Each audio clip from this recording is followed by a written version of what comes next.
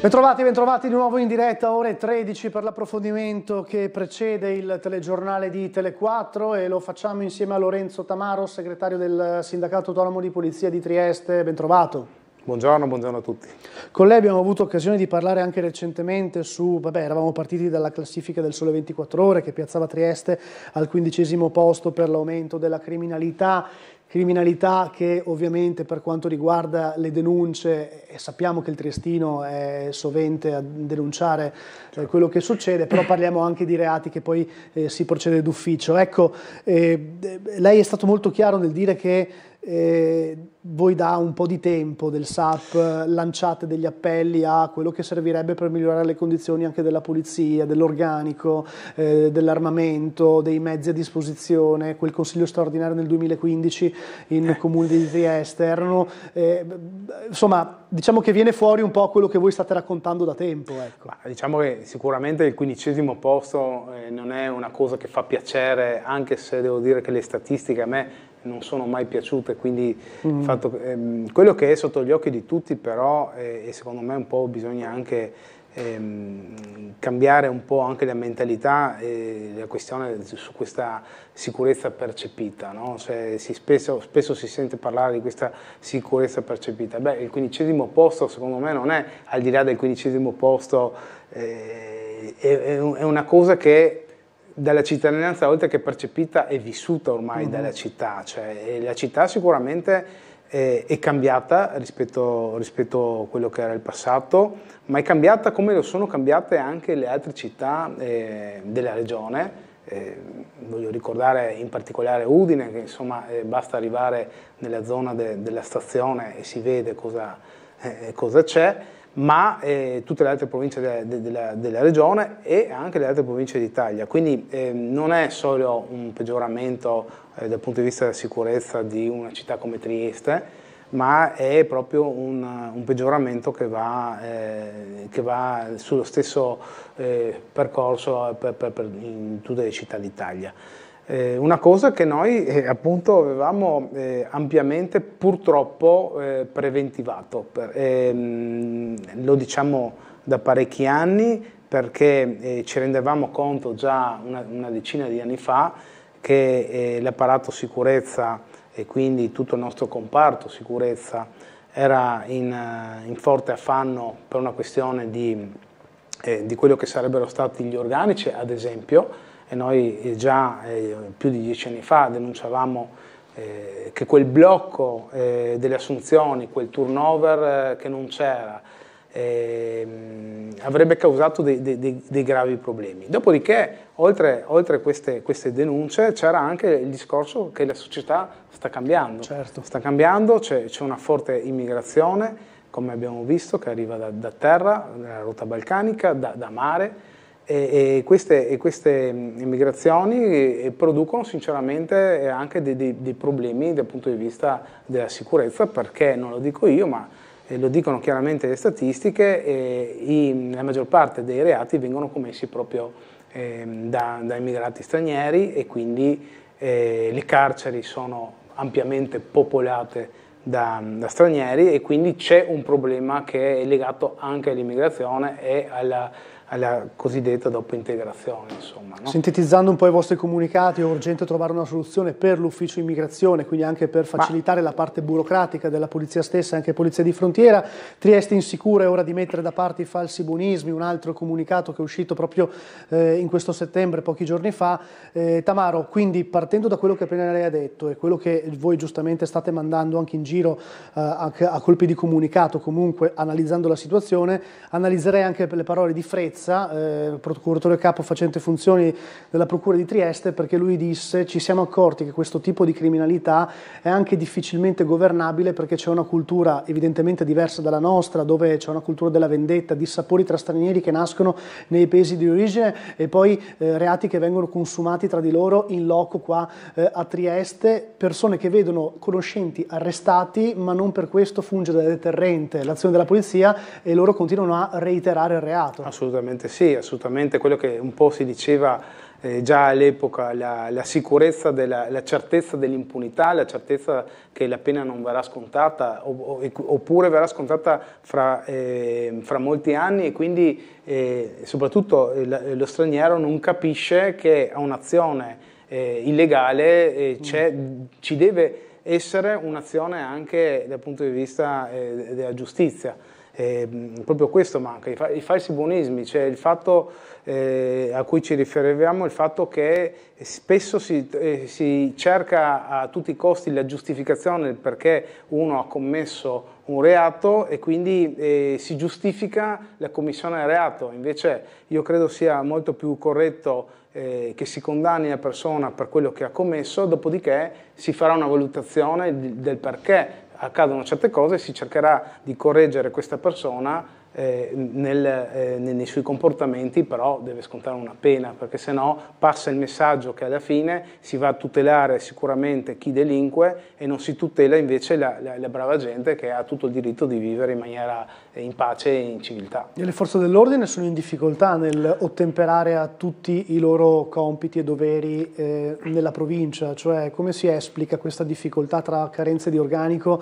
e eh, non so, a volte eh, sembra anche che eh, sia difficile magari stare dietro a tutto, non so come dire. Beh, sicuramente eh, lo vediamo, il cittadino chiede una presenza ormai in, in ogni dove, quindi eh, tutto ciò non è possibile, non sarebbe neanche giusto, io credo, eh, malgrado ciò c'è, una forte presenza eh, di, di, di, di, forze dell'ordine, di polizia su, su, anche su tutta la città, grazie anche però alle aggregazioni che, che, vengono da fuori, perché noi abbiamo reparti prevenzione crimine che sono eh, continuamente aggregati, c'è il reparto mobile con, con, con, sempre aggregato, c'è eh, comunque l'impegno e l'aiuto di, di strade sicure da parte dei militari, quindi insomma ci sono forze in campo proprio perché quelle, quelle fra virgolette territoriali non sarebbero sufficienti a poter eh, stare dietro a tutto. È chiaro che Ehm, c'è anche un problema, poi dopo c'è un rinforzo anche per quanto riguarda il discorso de, appunto, dei confini, per quanto riguarda la sospensione Schengen.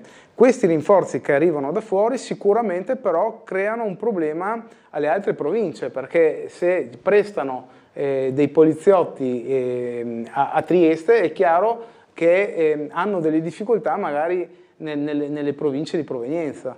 Mm. E questo, questo, ecco perché dicevo che è un problema di Trieste, ma un problema anche delle altre città. La, la carenza di organico non è una carenza di organico patita solo a Trieste, ma in tutto il resto, tutto il resto d'Italia. Quindi anche prestare de, degli agenti da una città all'altra comincia oggi a essere un, un po' un problema. Peraltro, parlando di controllo delle frontiere, notizia dell'altro giorno, 11 passeur arrestati dalla polizia nell'ultimo mese e tra chi trasportavano i passeur, eh, uomini, donne e bambini, insomma anche stipati, no? Nei van per, l'immigrazione, per certo. favoreggiamento dell'immigrazione clandestina. Ma anche lì vediamo che c'è un'azione di polizia che è sempre costante, c'è sempre un grande impegno malgrado appunto le difficoltà, ci sono i risultati perché poi alla fine, se, se dobbiamo dirla tutta, ci sono i risultati perché ehm, c'è stato un notevole aumento di arresti per quanto riguarda i passer, per quanto riguarda l'immigrazione clandestina, eh, sicuramente ci sono meno ingressi rispetto a un tempo, quindi la, la deterrenza de, della chiusura eh, c'è perché è innegabile, eh, lo dicono i numeri. Ehm, c'è anche la soluzione di, di, di, tutte le risse che noi vediamo eh, mm. che sono teatro nelle nostre, nelle nostre piazze, bene o male ci sono sempre gli identificati, ci sono gli arrestati eh, e quindi voglio dire le forze dell'ordine comunque riescono ehm, a, a, mettere a segno quello che sono i loro obiettivi e forse quello che manca è manca manca il dopo cioè far comprendere alle persone che, eh, che delinquono, che ha, una, ha, una, ha un reato, ha un'azione illegale, deve sicuramente seguire una, una reazione, una pena. Oh, abbiamo ancora 5 minuti, a questo punto parlerei anche della questione Meran, altro caso in cui siete usciti, l'assassino dei poliziotti Rotta e Demenego, inopportuno e irresponsabile la possibilità di trasferire Meran a Trieste, si è parlato poi di Orisina. Sì, io credo sia del tutto inopportuno per Trieste, è una ferita ancora aperta, una, una sentenza, quella che noi abbiamo sempre giudicato insomma, irricevibile perché... Ehm, e, e, credo, e credo, che sia una, una, sentenza che non sia stata compresa e digerita nemmeno da, dalla cittadinanza. Ricordo che in, quel, in, in quell'ambito tutta, tutta un'intera città si strinse attorno alla questura, ai colleghi, ai familiari appunto delle vittime. Eh, un, un, fatto veramente, fra l'altro fra, po fra, pochi giorni sarà il quinto anniversario appunto di, di, questa, di questa, tragedia.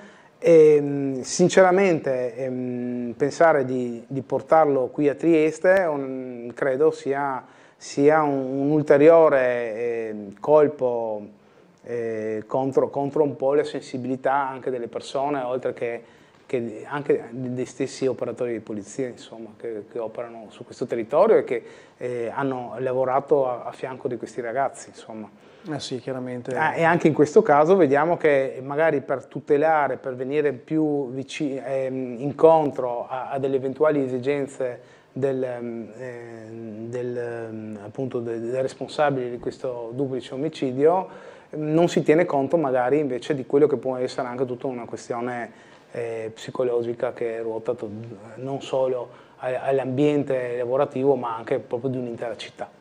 Sì, poi ci sono, vabbè, abbiamo parlato anche prima parlando di criminalità, ci sono anche tanti episodi di microcriminalità che vedono protagonisti giovanissimi anche lì. Certo, ma anche lì io credo sia un fattore culturale, come deve essere un fattore eh, culturale anche avere un maggiore rispetto per chi indossa una divisa. Su questo io credo eh, sia importante quello che si sta facendo in questi giorni anche col, col decreto legge sicurezza. Eh, noi auspichiamo, siamo già contenti che sia passato alla Camera, auspichiamo venga approvato al più presto, dove mh, reati per esempio come la resistenza e la violenza pubblico ufficiale finalmente saranno di nuovo presi in considerazione, verranno inasprite le pene e questo è un segnale che si dà eh, proprio perché eh, bisogna anche eh, cambiare la cultura delle persone, l'approccio che deve essere diverso. Mi aiuto non... anche con i comunicati, la possibilità di avere la body cam delle certo, telecamere, certo, assolutamente. No? Quello, quello una sicurezza sia per gli agenti che per le persone che esatto, hanno di fronte. Esatto, noi non vogliamo sicuramente eh, tutele, ehm, come si dice, che, che vanno solo a nostro favore, vogliamo le tutele nei confronti di tutti, vogliamo la trasparenza di quelle che sono le nostre le, le nostre azioni e, e, soprattutto però vogliamo lavorare in, in, tranquillità e avere il rispetto che una, un ruolo come quello di un pubblico ufficiale o che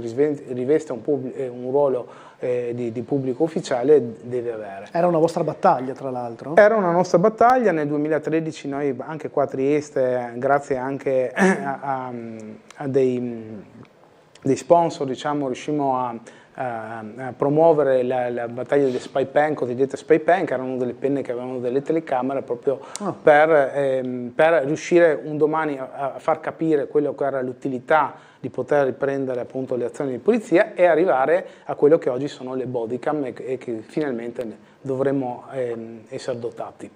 Va bene, quindi insomma eh, ci sarà modo anche di tornare come sempre questi, su questi argomenti. Grazie al segretario eh, del SAP Lorenzo Tamaro per essere stato con noi e buon lavoro. Grazie a voi, buon lavoro a voi.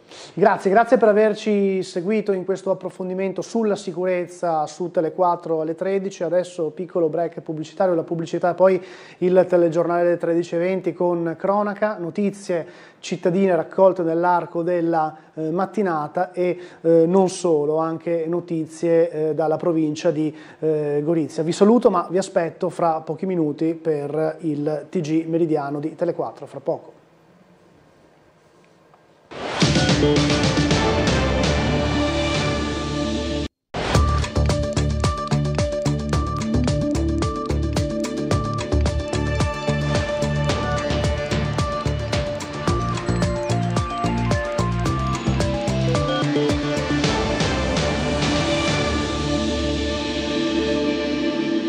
Bentrovati, bentrovati al telegiornale meridiano di Tele4 che parte con la cronaca, tentata rapina in casa ad Aquilinia, i topi d'appartamento, una coppia con il volto travisato da passamontagna hanno avuto una colluttazione con la padrona di casa nella propria camera da letto, poi i malviventi sono fuggiti facendo perdere le proprie tracce, indagano però i carabinieri. Marco Stabile.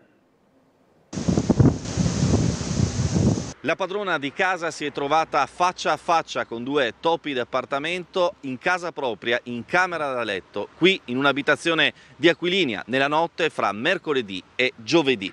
La coppia di malviventi si è introdotta nell'appartamento al primo piano dopo aver forzato una porta finestra. Poi, una volta all'interno, hanno rovistato dappertutto in cerca di contanti o gioielli in oro. La coppia, con i volti travisati da un passamontagna, è entrata in camera da letto dove riposava la donna che è stata poi eh, svegliata dai eh, rumori. Ha avuto una breve ma purtroppo intensa colluttazione con uno dei due, eh, i quali poi sono fuggiti senza causare per fortuna ferite alla donna che però è rimasta sotto shock. Fortunatamente nel parapiglia, da mani addosso, non è stato coinvolto l'anziano padre della donna che vive con lei. Sul posto, per indagini e rilievi del caso, i carabinieri del nucleo di via dei Tomins, che insieme ai colleghi del comando provinciale stanno passando al vaglio i filmati delle telecamere di sorveglianza piazzate in zona e eh, stanno raccogliendo eh, testimonianze di altre persone che potrebbero aver visto eh, qualcosa. Al momento non c'è traccia dei due ladri in fuga, ma cresce la preoccupazione dei residenti di Aquilinia, frazione di Muggia, per il rischio di trovarsi queste persone di casa di notte all'improvviso, magari proprio in camera da letto come nel caso della signora e magari di venire con loro a contatto con una colluttazione che anche eh, in questo caso avrebbe potuto avere conseguenze ben peggiori. Ora parliamo del maltempo, ci eh, spostiamo in quel di Sagrado, cresce la preoccupazione per la piena del fiume eh, Isonzo, ci colleghiamo con il nostro Omar Costantini che si trova a Sagrado, sentiamo. Sì, grazie per la linea, siete collegati in diretta con Sagrado, siamo all'altezza del, tra il ponte sulla regionale 305 e la diga foranea che smista poi verso il canale dei dottori. Siamo a Sagrado, Fiume Sonzo, questa è la portata, eh, chiaramente in Slovenia sono state riaperte le dighe, in particolare quella di Salcano, sta piovendo a dirotto nell'alta valle dell'Isonzo e come potete vedere insomma, il fiume sta scorrendo verso la sua foce eh, con una portata veramente eccezionale. Va detto che al momento non, non ho segnalazioni per quanto riguarda questa zona di eventuali interventi da parte sia dei vigili del fuoco sia della protezione civile per eh, diciamo così, eh, allagamenti. Il fiume sta scendendo velocemente, la portata ripetiamo è veramente eccezionale, però quello che conta è che al momento insomma, tutto rimane negli argini. Per quanto riguarda altri, gli altri corsi d'acqua va segnalato e faccio un break sul Friuli ehm, a Mersino, frazione di Pulfero, c'è stato uno sbottamento che ha chiuso, interrotto una parte della sede stradale, in questo momento stanno controllando sia il sindaco sia la protezione civile il da farsi per poter riaprire l'arteria nel più breve tempo possibile. Questa situazione Fiume Isonzo, ripetiamo, a Sagrado, portata eccezionale, ma quello che conta al momento tutto nella normalità. A voi la linea. Questa quindi è la situazione maltempo, noi torniamo invece a Trieste, torniamo a parlare della cabinovia. Il comitato no, ovovia contro il sindaco di piazza e i monologhi senza contraddittorio in televisione. Il gruppo dei Contras oggi ha spiegato le conseguenze della lettera del Ministero ripresentando l'alternativa del tram treno urbano. Bernardo Gulotta. È ora di finirla che il sindaco va in televisione e fa i monologhi senza contraddittorio. William Starz del comitato Nuovo Via alza il tono della discussione, si dimostra stufo di assistere a monologhi del primo cittadino rispetto al progetto Cabinovia. Proprio ieri di piazza ospite Tele4 aveva affermato quanto segue. Io non sono neanche convinto che perderò il PNR perché ah. sai c'è stata una battaglia Laura mm. Fatta dai sinistri in maniera incredibile. Io non riesco a capire perché stiamo lavorando per la nostra città. Il sindaco sarà a Roma martedì per discutere col ministero sulla possibilità di finanziare diversamente la cabinovia o forse anche di poter salvare i fondi PNRR se con altro progetto o meno lo si scoprirà nei prossimi giorni. Proprio il comitato Nuovo Via a seguito della lettera arrivata da Roma insiste sul progetto alternativo di un tram urbano che anche costi alla mano sarebbe largamente finanziabile. Avevamo fatto un'analisi con esperti del settore che un chilometro di tranvia costava 9 milioni di euro e guardate con i 48 milioni arrivavamo fino a Campo Marzio. Quindi non ci sono alibi, non si voleva fare il tram sulle rive? Bene, potevamo mettere a posto il tram di Opcina rinnovando tutto, infrastrutture e via. Non si è voluto sentire. Oggi sentiamo la loica che va a Roma a chiedere altri soldi. Io non metto in dubbio che visto l'allineamento dei pianeti i soldi non servono, però i vincoli continuano a sussistere. Allora chi sta prendendo in giro il sindaco? La città è ora di finirla, non ne possiamo più. Sempre sugli aspetti economici, oggi il Comitato ha elencato le spese che il Comune ha sostenuto per le procedure del progetto. Tutti incarichi sotto soglia in modo da andare direttamente a, a chi si voleva. Secondo, Oggi non c'è più il discorso della copertura della Corte dei Conti. Oggi con la lettera del eh, Ministero questo quanto è stato speso è un debito fuori bilancio.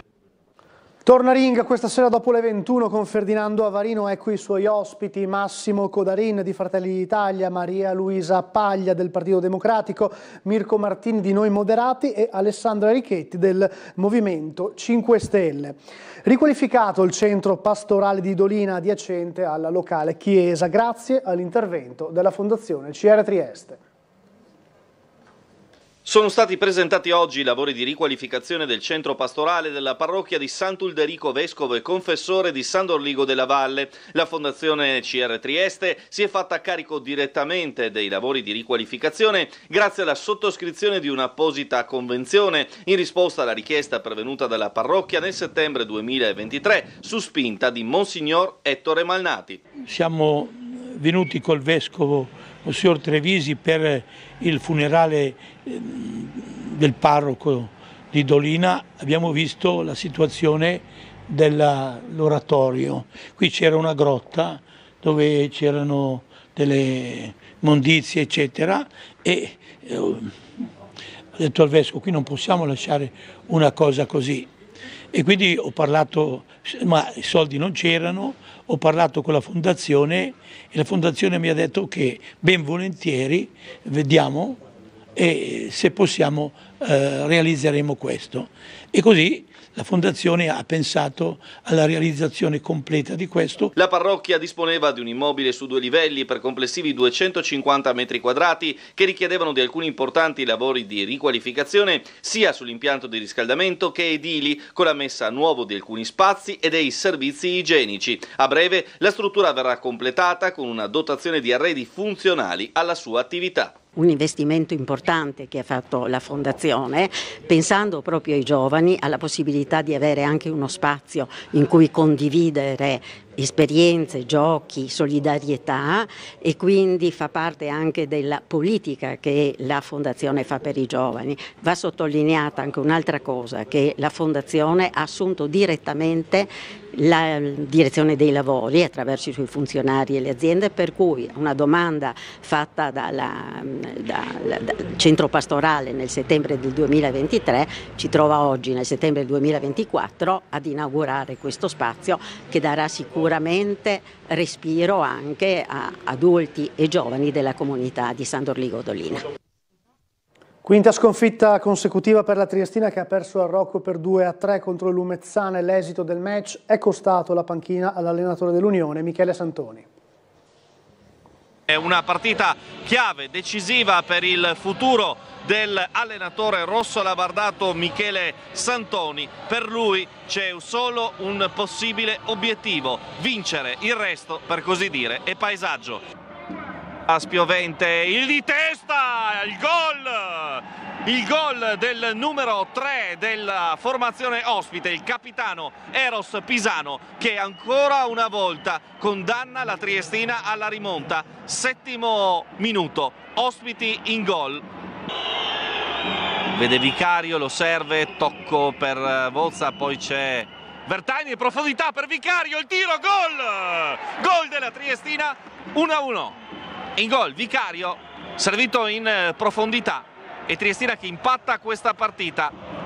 Chissà che non sia la svolta della gara e sperabilmente di tutto questo inizio di stagione ancora il Lumezzane in controllo lanciato Ferro sulla destra. Bielefeld prova a chiudere la sua percussione. Occhio perché rischia il fallo. Ferro dentro il pallone gol!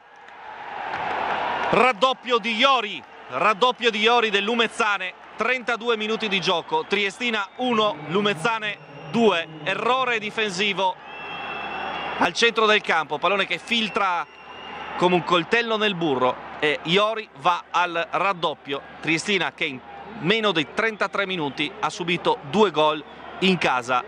Pallone recuperato da Bozza, vede D'Urso, lo serve in profondità, Vicario fra due uomini, se la giusta, il tiro di Vicario! D'Urso, il cross a Spiover, il testa, testa di Struna! È proprio lui il più contestato dalla tifoseria, pelata vincente, oltre che zuccata vincente. Struna, il difensore centrale della Triestina, la impatta così su corner di Cristian D'Urso. D'Urso si gira, cerca lo spazio per il cross, poi va fuori da Correia, il quale controlla, vorrebbe andare il tiro, Correia traversa! Tristina che ora perde palla e a centrocampo ora fa un po' di fatica.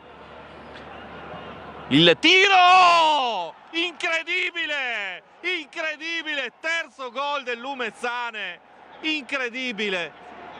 Triestina che subisce il terzo gol nel momento migliore della partita, in una partita che la Triestina è riuscita ad impattare e che ora sembrava essere in grado di vincere. Arriva questo gol totalmente, completamente estemporaneo che ghiaccia il Rocco, veramente impressionante il tiro di Togordò D'Urso può recuperare palla, ce la fa, va giù, non c'è fallo per l'arbitro. E a terra si lamenta, speriamo veramente nulla di serio. No, non ce la fa, non ce la fa. Viene portato fuori dai sanitari a spalle. Pallone sui piedi, la profondità, il tocco indietro in direzione di Correia che si aggiusta il pallone, tiro!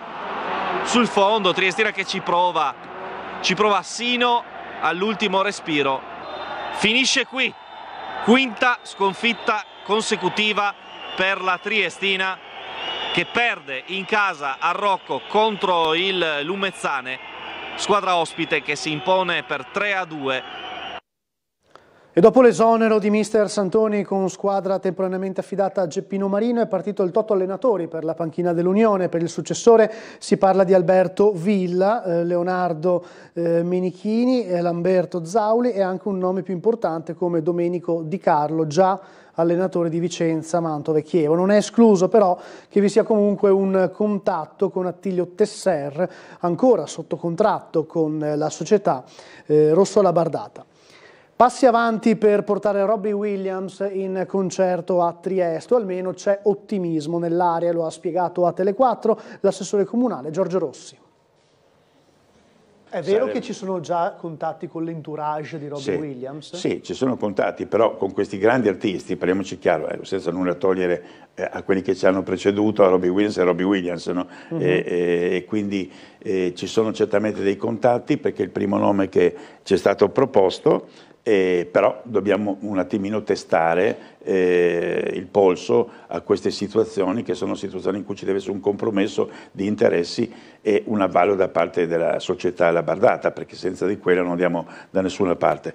I eh, presupposti sono in questo momento positivi, però l'ultima parola spetterà alla Giunta, ma soprattutto al Sindaco, insomma il Sindaco che alla fin fine si assume insieme a me la responsabilità eh, nel bene e, e, e, nel male. Quindi la volontà di fare almeno un concerto no? eh, nel, ogni anno è una volontà che ci sta. Bene, ci fermiamo per qualche minuto, break pubblicitario, poi torniamo con altre notizie e servizi.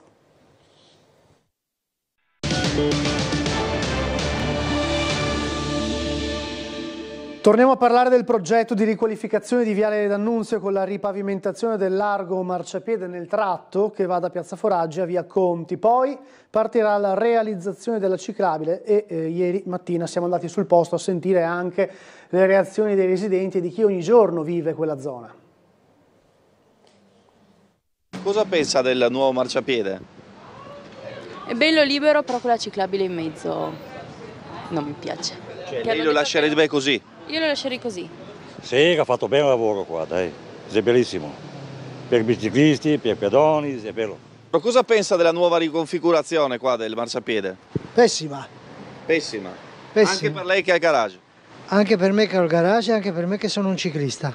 Questa è una soluzione veramente pessima, pericolosa soprattutto per me che abito qua vengo fuori dalla porta di casa e mi troverò la bici fra le gambe. Come vedete il marciapiede ora è molto ampio e sgombro. Prima le auto erano parcheggiate a spina di pesce fino a questo punto qui e c'era questo corridoio per eh, camminare. Ora l'area è completamente sgombra, è stata eh, rimessa a posto, poi ovviamente eh, partirà il famoso progetto anche eh, della, della, parte ciclabile.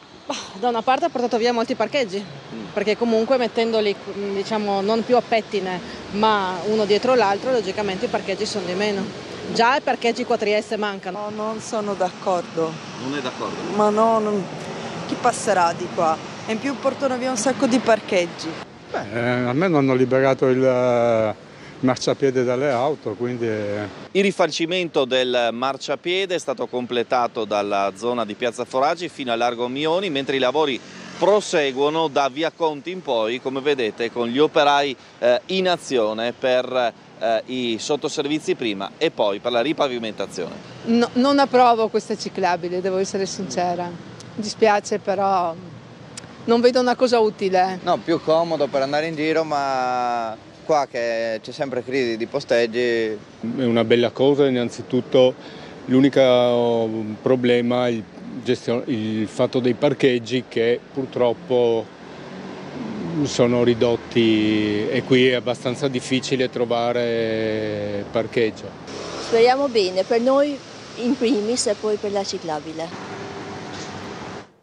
La consigliera comunale del Partito Democratico Pucci pungola alla Giunta per non aver agito in tempo nel ripristino del muro della scuola Laghi che nelle ultime settimane ha dimostrato gravi cedimenti. Rivediamo. È peggiorata la situazione del muro della scuola Laghi di strada di Fiume, muro che si trova sulla laterale via Kobler, al punto da perdere pietre che si riversano nella stradina. La situazione è nota al comune di Trieste, visto che le segnalazioni risalgono già a novembre dell'anno scorso. Prima una serie di cavalletti, poi alcuni operai venuti sul posto hanno rassicurato genitori e abitué della zona per il rischio di un cedimento del muro che dimostra evidenti segni di spanciatura. A tenere d'occhio da vicino questo problema ci ha pensato la consigliera comunale del Partito Democratico Rosanna Pucci, che proprio a Sveglia Trieste a luglio aveva ricevuto e inoltrato la problematica al personale del comune. Il muro, come detto, ha subito ulteriori cedimenti al punto da dover limitare la strada con delle transenne perché pezzi dello stesso hanno continuato a rappresentare un pericolo. Ecco perché Pucci oggi è tornata alla carica, affermando che se si fosse agito per tempo si poteva evitare la limitazione di via Kobler e la chiusura del tratto di strada. È una situazione di pericolo che poteva essere evitata in quanto già a fine luglio avevo inoltrato agli uffici eh, comunali competenti eh, la segnalazione, la richiesta di ripristino e messa in sicurezza del muro di cinta della scuola Laghi. Una segnalazione che mi era arrivata in diretta a Sveglia Trieste e, ehm, da parte di una cittadina attiva molto preoccupata ed ora eh, come potete ben vedere eh, la situazione è precipitata per cui ho, ho depositato oggi una mozione comunale dove invito il sindaco e gli assessori competenti a eh, ricostruire con urgenza il muro di cinta. La direzione ambiente del Friuli Venezia Giulia ha avviato un'istruttoria per accertare se l'esondazione del rio Menariolo e i conseguenti danni ad abitazioni e colture nella frazione di Vignano a Muggia possa essere stata provocata da materiali di risulta non adeguatamente smaltiti nel cantiere sloveno della capodistria di Vaccia che si trova a monte del tratto italiano del torrente. Ecco il servizio. Su torrenti come il Menariolo era stata fatta la manutenzione, ma il grosso del flusso ovviamente arriva da oltre confine. Ci sono perplessità su questo, perché? Ma io direi tante perplessità, intanto perché se tutta la fase di emergenza si è concentrata solo su quella parte lì, tanto è vero che se parliamo di via Trieste che di solito si allaga tanto, si è allagata di meno, il centro storico non si è allagato, Lazzaretto non, non ha avuto criticità. E per cui viene da pensare che eh, la criticità era eh, concentrata su quella parte lì, il fatto che siano venuti giù enormi quantità di detriti e di grossi tronchi anche tagliati, eh, pensando che sopra a monte c'è la Slovenia con la Divaccia Capodistria che è, una, una, è un'opera, quella ferroviaria, eh, ad alto impatto, quindi ci sono stati lavori veramente impattanti e poi alla fine ci si viene da chiedere che cosa è successo a monte. Il sindaco di Muggia, Paolo Polidori, lo aveva detto a chiare lettere alla nostra emittente il 12 settembre. La piena del torrente Menariolo, che ha provocato l'evacuazione di otto case a Vignano e una raffica di danni a edifici e aree agricole, potrebbe essere stata innescata da materiali come i tronchi d'albero, tagliati e approssimativamente tutti della stessa lunghezza, attribuibili alla costruzione del tratto ferroviario della Divaccia Capodistria in Slovenia e finiti nel letto del fiume. Il rio in effetti nasce fra Antignano e Ospo e attraversa proprio l'area area limitrofa al cantiere prima di tuffarsi verso l'Italia. Ecco perché gli uffici regionali della Direzione Ambiente hanno aperto un'istruttoria per capire le ragioni dell'esondazione di due settimane fa. I tecnici hanno già effettuato due sopralluoghi e preso contatto con il Ministero delle Infrastrutture sloveno per accertare le eventuali responsabilità. Analoghi controlli verranno effettuati anche in riferimento ad altri corsi d'acqua che nascono nella vicina Repubblica e sfociano nel nostro paese, come l'Ospo e Rosandra. In particolare quest'ultimo esondato nella medesima giornata del Menariolo, provocando la chiusura temporanea di via Flavia di Aquilinia. E infine rivediamo anche la premiazione del chiosco più eh, vecchio della riviera di eh, Barcola. Rivediamo.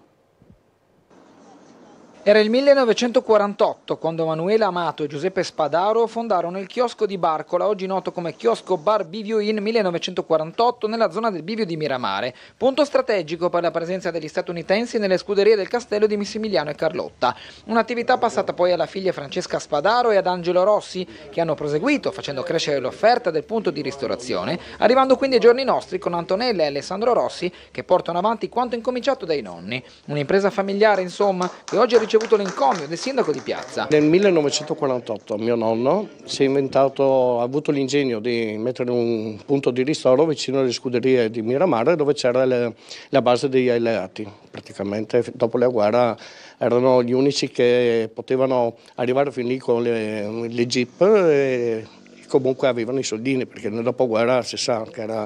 e ha avuto questo ingegno. È stato veramente furbo e bravo. L'omaggio è stato consegnato nel salotto azzurro del municipio anche grazie alla spinta del consigliere comunale Alberto Polacco di Forza Italia e dell'assessore azzurro Michele Babuder. Grazie all'ostinazione, la, la voglia, l'abnegazione e anche le tradizioni, perché rientra anche questo in una tradizione di una famiglia che oggi premiamo un'attività di 76 anni che andrà avanti anche con le nuove generazioni. Alessandro e Antonella in tutti questi anni hanno visto l'evoluzione del lungomare barcolano fra lavori, frequentazioni e tendenze tutto condito da innumerevoli episodi, fra i più stravaganti a quelli più affettuosi. Mi chiedono se ho gelati normali, quanto tempo si arriva dal chiosco al castello, gli rispondo se vai a piedi ci vuole un quarto d'ora, se corri in 5 minuti. Dopo una volta mi è successo che una ragazza ha preso la tabella dei gelati per portare all'amica che era distesa sulla brandina per fargli vedere i gelati. Succede tanti aneddoti, tanti.